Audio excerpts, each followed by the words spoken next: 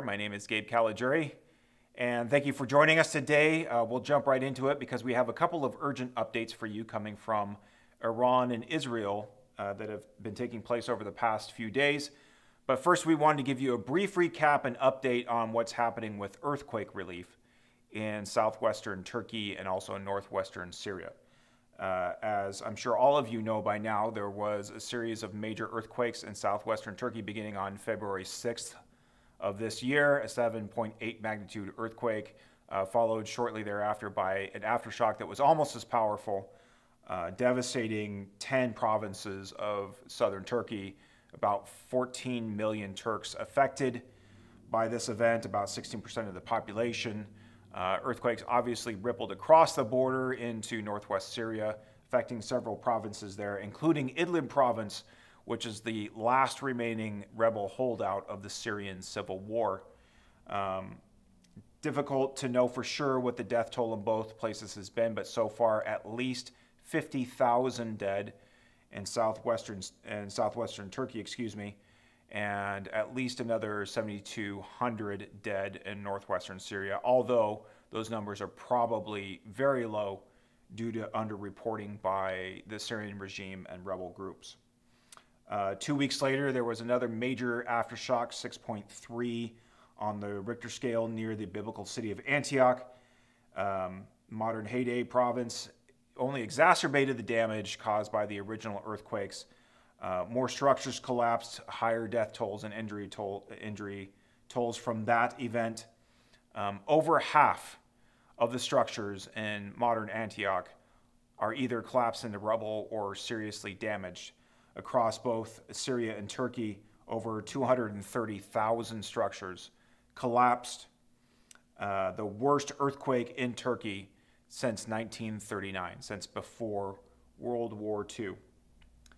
Uh, now, as rescue and relief efforts wind down and um, search and recu- uh, search and refu- uh, I'm sorry, rescue is coming to a close, um, the ongoing relief efforts have spun up and will be continuing uh, for the foreseeable future, probably for years to come. About 2.5 million people, both in Turkey and Syria, are displaced. They don't have homes, they're living in tents uh, including about 850,000 children. Uh, Syria was already one of the world's worst humanitarian crises before the earthquakes due to the decade long Syrian civil war. Already millions of people internally displaced, uh, displaced inside Syria and millions more uh, refugees outside of Syria. So the earthquake has only added an extra layer of suffering on top of that. Um, obviously, there are ongoing physical needs uh, for medical care. For example, over 350,000 Turkish women are pregnant in affected uh, areas of the earthquake zone and in need of prenatal care. Uh, makeshift hospitals have uh, popped up all over southern Syria, but the local government and even the Turkish government is completely overwhelmed and unable to uh, provide services as needed.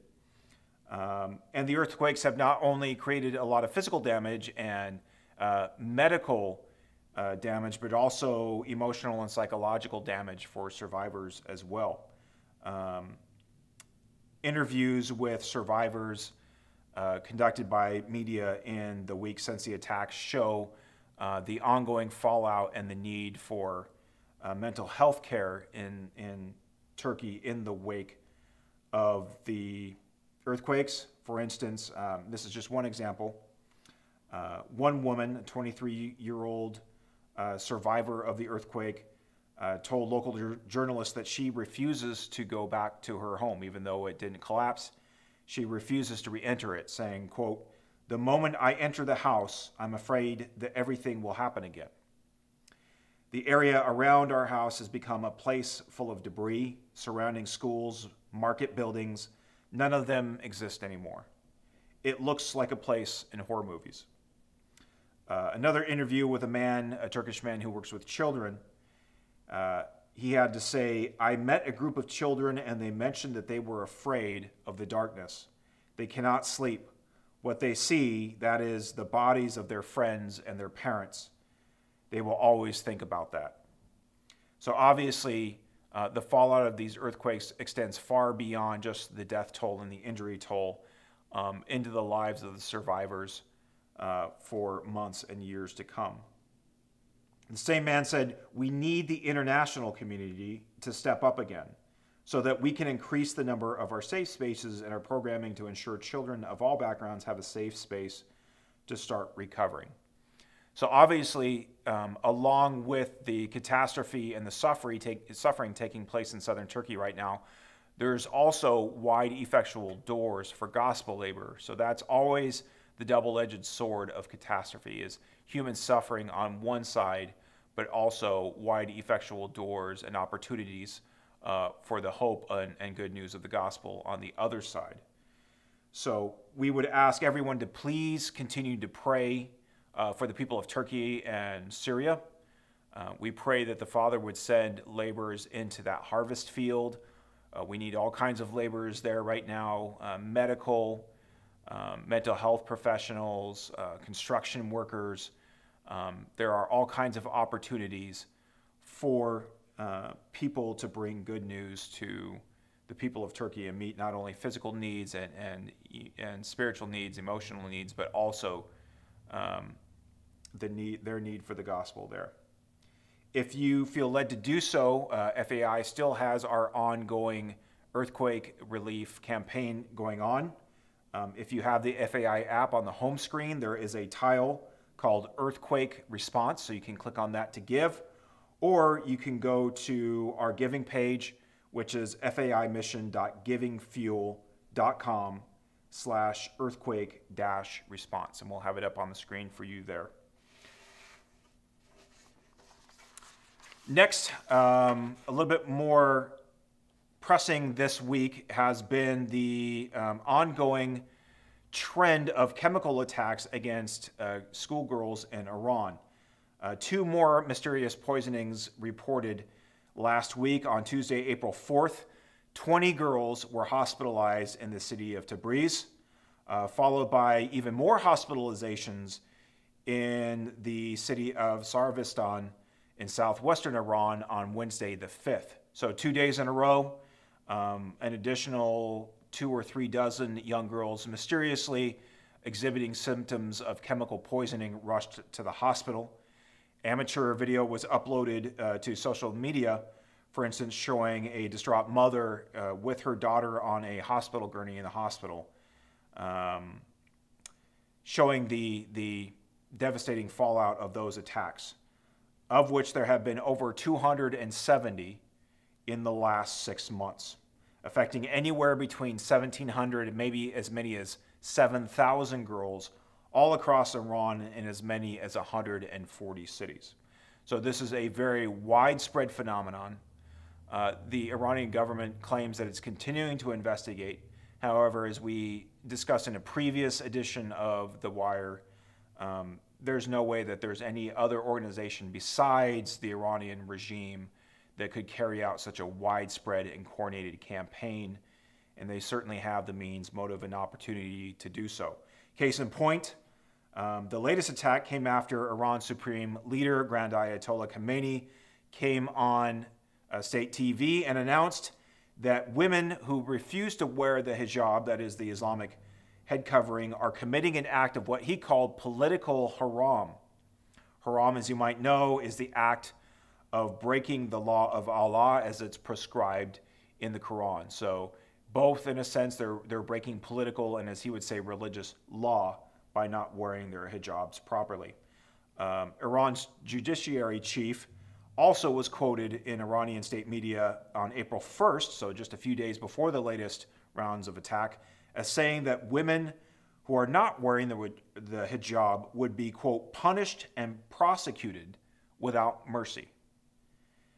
And now we can see that more than six months after the beating death of uh, Mahsa Amini, the Kurdish Iranian woman who was not wearing her hijab correctly in Tehran and who was beaten to death by Iranian morality police, the Basiji, um, which kicked off the, the latest round of street protests in Iran, we can see that despite the, the popular uprising and millions of Iranians in the street across every sector of society, across every city in Iran, the Iranian regime still refuses to budge an inch on, the, on this issue. Related to protests, also on Wednesday the 5th, a large uh, street protest gathered in the capital of Tehran on the anniversary of the murder by the Iranian regime of a well known protester uh, who was underage when he was killed. Uh, the crowd was recorded uh, with amateur video chanting, We don't want a child killing regime. And they're speaking on behalf of over, the, uh, over 70 children who have been murdered by the Iranian regime since protests started last September. In all, 500 people have been killed in the streets or in custody by the regime, most of them peaceful protesters. Over 22,000 people uh, have been arrested, most of them still detained and in custody. Many of those are children. So, as always, we would ask you to continue to pray for the people of Iran and especially pray for our brothers and sisters uh, in the underground Iranian church who are risking their lives every day to reach people with the good news of Jesus and make disciples in that country. Uh, last but certainly not least, a very important update. As many of you probably know, uh, there has been another round of rocket fire in Israel over the last two to three days as of the recording of this video on Friday, April 7th. Um, this time, both in southern Israel around the Gaza Strip, which has unfortunately been a typical occurrence that happens every few months, but uncharacteristic of the last decade or so, there was a major um, rocket launch over the Lebanese border into northern Israel, into the Galilee region. Uh, this began uh, last Tuesday, April 4th, on the Temple Mount. As many of you know, it's Ramadan season, which is already a heightened uh, season of tension between Palestinians and Israelis, especially Israeli security and religious Israelis in Jerusalem. Um, the Palestinian militant factions and uh, extreme radical clerics uh, that work and preach on the Al Aqsa, uh, on the Temple Mount and the Al Aqsa Mosque, have been threatening the Israelis with violence if, if the Israelis do anything to desecrate the Temple Mount um, during the Passover season, which is also occurring this weekend. And last week, this all came to a head on uh, Wednesday, I'm sorry, on Tuesday the 4th, right after daily prayer services in the Al Aqsa Mosque, um, just as uh, worshippers were leaving the mosque, a large mob, you could say, of young Palestinian men uh, came up onto the Temple Mount platform, went into the Al Aqsa Mosque, and barricaded themselves inside. Um, there were still some uh, Palestinian, Palestinian worshippers inside the mosque at the time, they were trapped inside, and um, the mob refused to let them go. Uh, so they were unwilling participants in this event.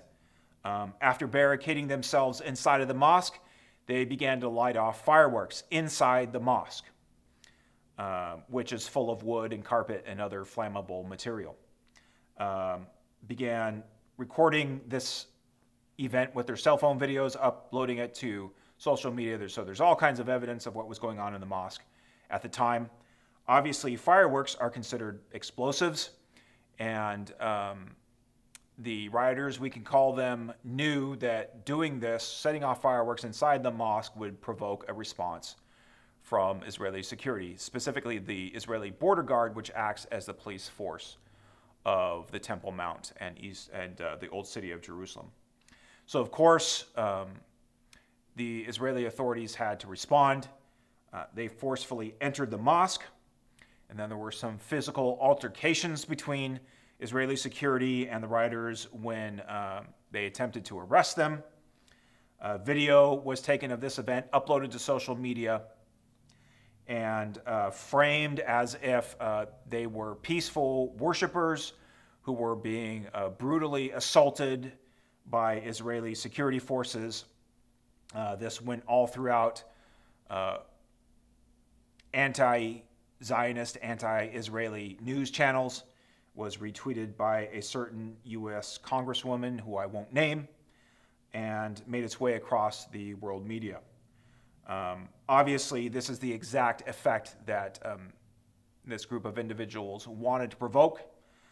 But on top of that, they wanted to set a pretext for what would come next, and that is uh, the condemnation of Israeli aggression, quote unquote, uh, by Hamas and Islamic Jihad and the Iranian regime and Lebanese Hezbollah and the other pro Iranian proxy forces across the Middle East, um, who then took action.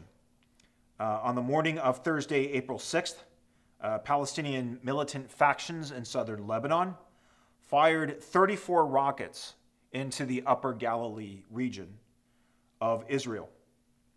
Uh, most of those rockets were intercepted by the Iron Dome um, missile or anti missile system, and a few fell into either open fields.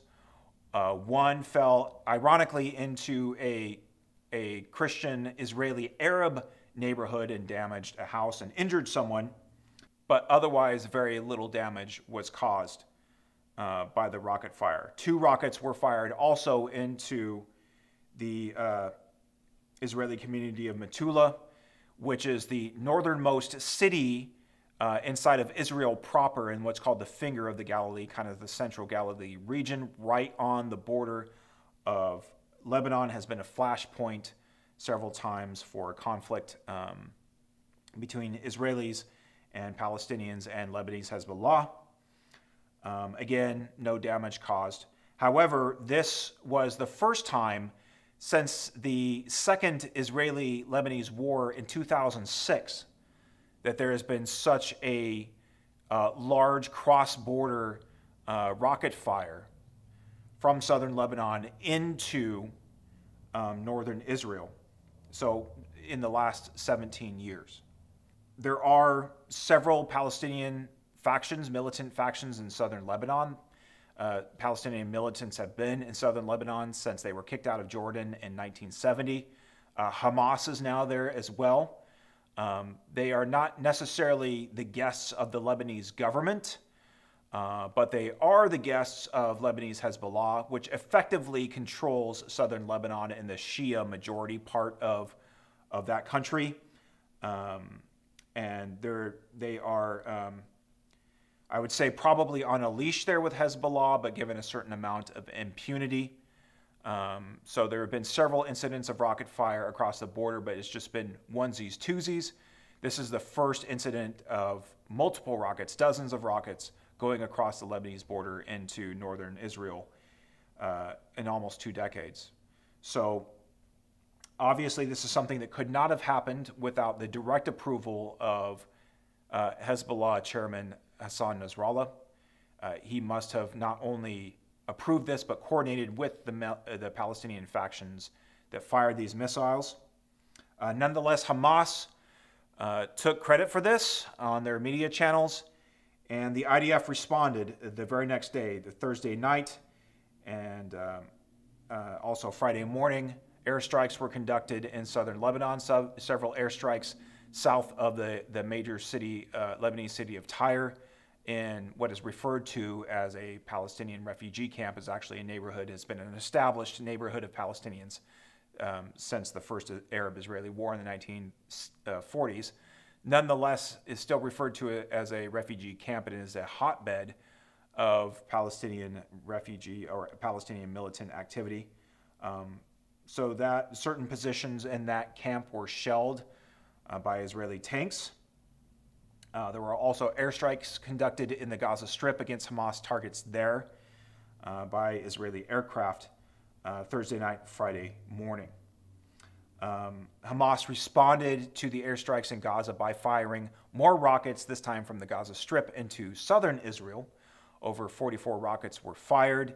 Again, most of them intercepted by the Iron Dome um, defense system. A few of them got through, one of them striking a family home in the community of Sderot, causing some damage. Uh, so far, as of the taping of this uh, video, there's no uh, further action being taken by either side. It, may, it seems that maybe there's somewhat of a fragile ceasefire holding. However, the violence has continued. Uh, today, Friday the 7th, um, a mother and her two daughters were driving along a highway in the West Bank along the Jordan Valley. Um, they were shot at by a Palestinian terrorist who shot them from a distance. Um, the car careened off the road, landed in an embankment. Uh, the terrorist approached the car, shot um, a woman and her two young daughters at close range. Both daughters were killed instantly. Uh, the mother is currently clinging to life in critical condition at an Israeli hospital.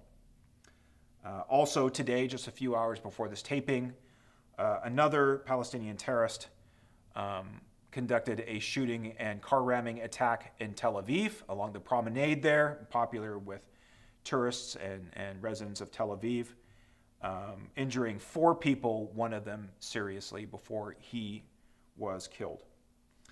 Uh, today, even up on the Temple Mount, a sort of fragile um, peace holding. There were Friday prayers at the Al Aqsa Mosque. Um, no violence, although about 15 Palestinian young men were arrested for waving Hamas flags and chanting um, incitements, as the Israeli security forces called it. Uh, this shows the, the growing influence of Hamas and other jihadist organizations, again, in the old city of Jerusalem on the Temple Mount. So, obviously, um, the whole situation on multiple fronts in, in Israel is continuing to escalate, both in the north and in the south, on the coast of Tel Aviv, in the West Bank, and in, in Jerusalem. The temperature continues to rise. So, we would ask you to continue to pray for the people of Israel um, also for the people of Lebanon and the Palestinian territories. Um, we, FAI has a home base in the Golan Heights of Israel and is continuing to conduct our uh, bomb shelter campaign that we announced last May. Um, this is a campaign that seeks to renovate and build new bomb shelters for Israelis in the northern Galilee region. And the reason for that campaign was made all too clear over the past three days. Um, despite a government program um, over the past few years to build bomb shelters in the Galilee, uh, there are still over 50,000 Israelis in the Galilee region that have no bomb shelters to run to in the event of rocket fire.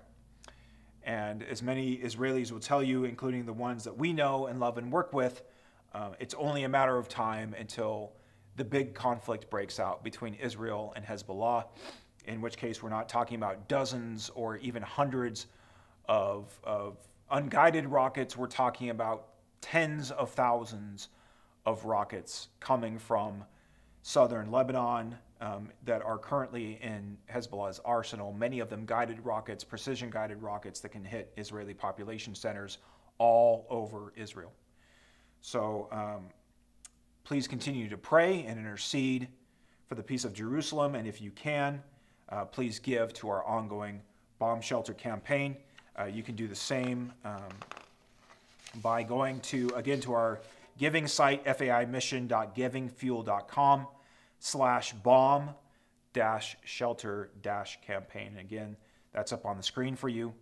Um, please give as we continue to help and needy Israeli communities and bring them and show show them the love of Yeshua and bring them a much needed um, form of protection from the coming conflict.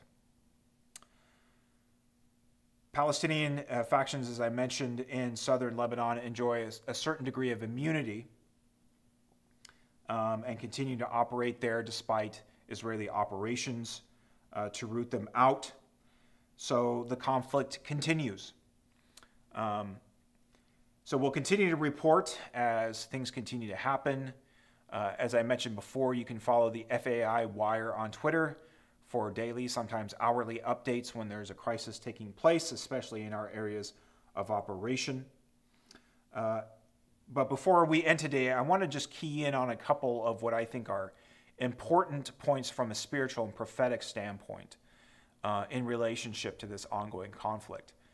Um, as I mentioned, um, this all began Wednesday uh, after the prayers at the Al Aqsa Mosque on the Temple Mount.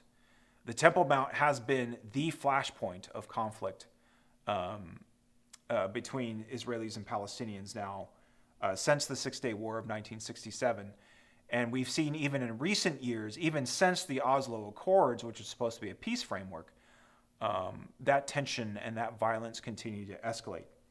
And it's done so for several reasons that you could point out politically or economically or, or socioculturally inside of, inside of Israel. But obviously, um, here at FAI and most of our viewers know that the undercurrents driving these things are largely spiritual, largely in the heavenly realms. Uh, what we would refer to and what Isaiah would, would refer to um, as a controversy of Zion. As I mentioned earlier, um, this month is not only the month of Ramadan, but also uh, this week overlaps uh, Ramadan with Pesach or, or Passover. Um, recently, a group of Orthodox rabbis, Jewish rabbis in Israel, uh, petitioned the new conservative and religious Israeli government to conduct the Passover sacrifice, or what's known as the Korban Pesach, uh, the slaughter of the lamb, up on the Temple Mount. Um, this request was ignored, uh, but it shows the growing boldness and the growing momentum that this movement, uh, this so called temple movement, is gaining in Israeli society uh, for Jewish worship up on the Temple Mount. Uh, as I mentioned before, Israel took the, the Temple Mount and all of the Old City of Jerusalem back in 1967 after the Six Day War. Um, as part of the peace agreement of that war, Israel was given security control and political t- control over the Temple Mount. Uh, but a Jordanian Muslim cleric known as the Waqf was given religious control over the Temple Mount and allowed to dictate what happened on top of the uh, what happens on the Temple Mount religiously. Um, the Waqf soon after instituted a rule that um, the Temple Mount would be used exclusively for Muslim worship at the Dome of the Rock and Al Aqsa Mosque. Uh, Jews and Christians since the 1960s and all other religious groups have not been allowed to perform any sort of religious observance on the, the Temple Mount. That includes praying or singing or chanting or bringing up religious objects or anything like that. And in fact, um, Jewish rabbis forbade the, um, through halakha or, or Jewish law, forbade Jewish people from going up onto the Temple Mount uh, in fear that they might step inadvertently on the spot where the Holy of Holies was constructed in one of the previous biblical temples. Uh, this was the case all the way up until the 1990s, uh, during the time of the Oslo Accords, which President Bill Clinton brokered uh, with Yitzhak Rabin and uh, PLO Chairman Yasser Arafat, that set the framework for a future peace deal of the uh, in the Israeli-Palestinian conflict, which still hasn't happened over 30 years later. Um, at that time, the temple movement was very small and very fringy. Uh, just a few Orthodox rabbis were encouraging Jews to go up on the Temple Mount and uh, were calling for the resumption of Jewish worship on the Temple Mount, specifically the rebuilding of a third temple and the resumption of, of Levitical sacrifices on the Temple Mount. Um, in the intervening 30 years, uh, that movement has continued to gain momentum. Um, today, there are Jewish tours or tours of Jewish um, uh, visitors to the Temple Mount almost every day, um, except on certain days um, in which the Temple Mount is closed to everyone but Muslims. Um, they are still very controlled tours. Um, the, the Jewish participants have to enter through a certain gate. They have to be escorted by security, uh, security detail. Obviously, they have to uh, tour the Temple Mount walking around in a certain direction. They aren't allowed to even approach any Muslims or any Muslim uh, holy sites. Uh, but yet, there is a growing interest in Jews worshiping the Temple Mount, uh, or visiting, I'm sorry, the Temple Mount. And also at the same time, a growing interest and um, allowance for Jewish worship at the, on the Temple Mount. Uh, technically, Jews are still not supposed to pray or chant or do anything on the Temple Mount that is spiritual or religious in any way. Um, and just several years ago, if they had attempted to do so, their security detail would have told them to stop, possibly escorted them off the Temple Mount and arrested them if, if um, they refused to do so. Um, today, that is changing. Um, just three years ago, I was up on the Temple Mount um, during one of my visits to Israel and, and observed a, a Jewish tour group at the time near the Dome of the Rock um, stop their tour and begin chanting in Hebrew, um, a liturgical chant, a, religious chant. Uh, their security detail did not attempt to stop them from doing this.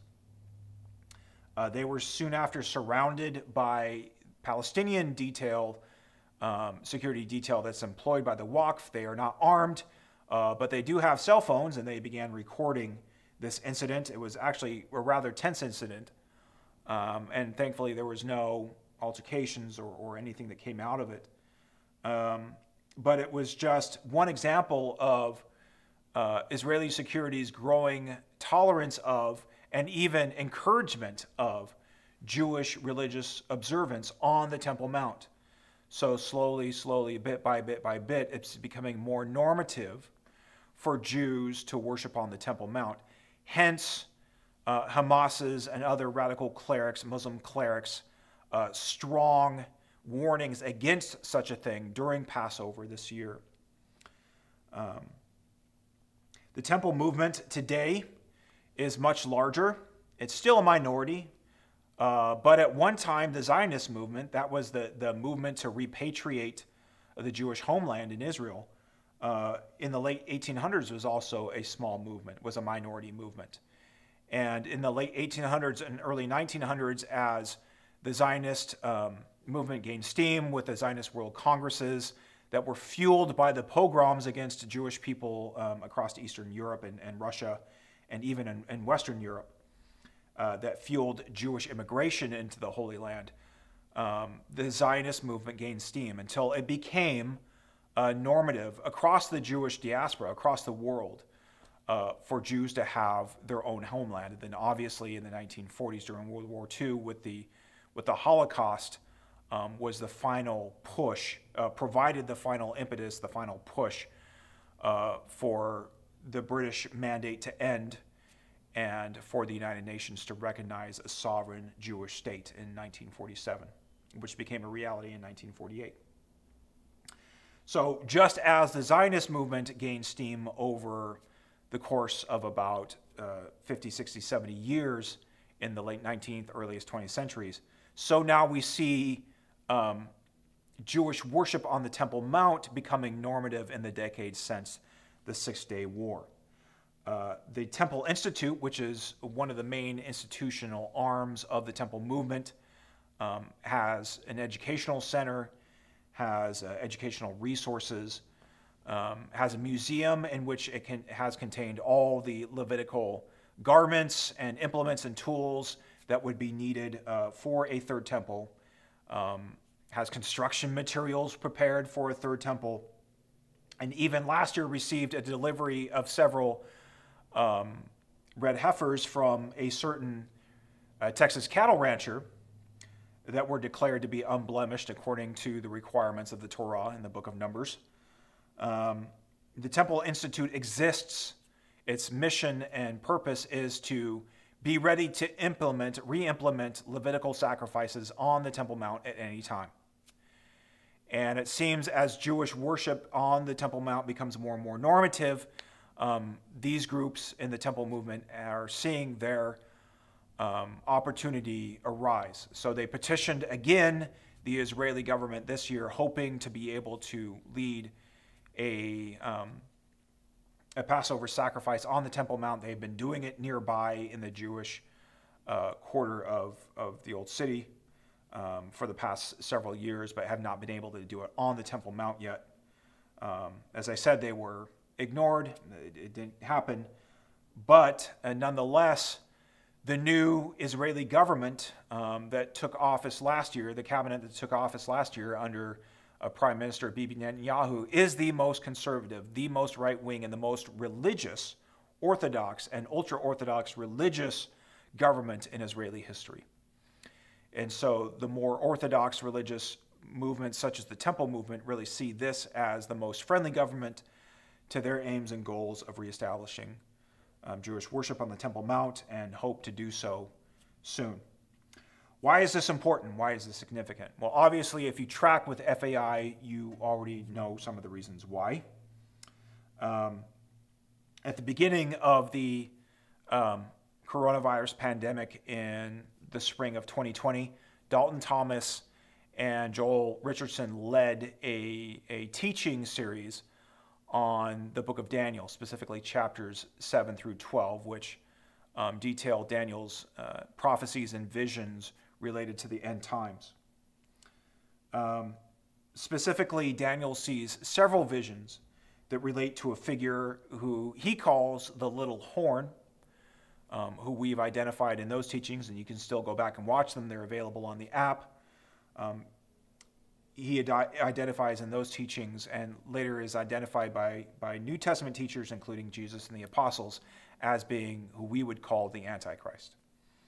Um, this, the rise of this little horn happens in conjunction with the resumption of the daily burnt offering on the Temple Mount. Um, this continues for a period of time in Daniel's narrative until the little horn intervenes and brings an end to the daily sacrifice on the Temple Mount in an event that's called the Abomination of Desolation. He and his armies desecrate um, the holy mountain and um, the temple or whatever structure may exist at that point. May not be um, a stone, a brick and mortar temple, may be something like a tent, we don't know, but there will be some kind of structure there and an altar there where um, uh, Jewish sacrifice is taking place. Jesus calls out this abomination of desolation in Matthew 24 in his Olivet Discourse as being the event, the marker event that we can uh, look for and see as the beginning of what he calls the Great Tribulation. That is the worst time of suffering for the Jewish people and also for the Gentile churches in the history of the world. So, obviously, the resumption of Jewish sacrifice on the Temple Mount is necessary in order for there to be um, an intervention by the Antichrist at the midpoint of the 70th week, as described in Daniel chapter 9, um, and in order for the abomination of desolation to take place. So, as we see things maybe inching in that direction, over time as, as Jewish worship becomes more normative in Israeli society, especially from the standpoint of wanting there to be religious freedom for Jews and even Christians on the Temple Mount, um, we can expect to see this time, I think, probably coming soon. Um, we don't know exactly what the catalyst will be uh, to allow for Jewish worship, um, open Jewish worship and Jewish sacrifice on the Temple Mount, maybe something like a war uh, some kind of catastrophic, catastrophic event um, like the Holocaust. Um, could be a war with Iran, with Hezbollah, we don't know. We definitely see those kinds of conflicts coming in Israel's near future. Um, in closing, I'll just read to you a, a, portion of Daniel chapter 8 so you can get a sense of how integral um, this is um, to the return of the Lord in the end of the age. Daniel chapter 8 is a conflict between two figures uh, the ram that comes out of Persia and the uh, one horned goat that comes out of what is modern day Turkey. Um, it's out of the horns of the goat, the ten horns that grow up out of the one horn on the goat, that one little horn arises and subdues the rest. And uh, chapter 8, verses 9 through 14 say the following out of one of them, that is, out of the ten horns of the goat, came a little horn, which grew exceedingly great towards the south, towards the east, and towards the glorious land, that is, across the Mideast region, including Israel, the glorious land. It, the little horn, grew great, even to the host of heaven, and some of the host, and even some of the stars it threw down to the ground and trampled on them, describing not only uh, earthly trampling of nations, uh, but also in the heavenly realms. It, the little horn, became great, even as great as the prince of the host, which is debatable as to the identity of the prince of the host, could be whoever would be acting as a high priest of the um, Levitical system in, place on the Temple Mount at that time. And the regular burnt offering, that is the Le- Levitical daily burnt offering, was taken away. And the place of the sanctuary was overthrown. The sanctuary referring to the temple or the tent or whatever may exist at that time. And a host will be given over to it together with the regular burnt offering because of transgression. And it will throw, that is the little horn, will throw truth to the ground, and it will act and prosper. Then I heard a holy one, Daniel's term for angelic beings. I heard a holy one speaking, and another holy one said to the one who spoke, For how long is the vision concerning the regular burnt offering and transgression that makes desolate, and the giving over of the sanctuary and host to be trampled underfoot? And he said to me, For 2,300 evenings and mornings, then the sanctuary will be restored to its rightful state. So one angel asked another, how long is this going to be going on where there is the daily burnt offering, which leads to the abomination that causes desolation, which leads to this time of overthrowing of the saints, this great tribulation, until the res- restoration of the temple, which we know will come at the Lord's return. The angel, the other angel answers 2300, 2300 evenings and mornings. 2300 days, about six and two thirds years on the Gregorian calendar.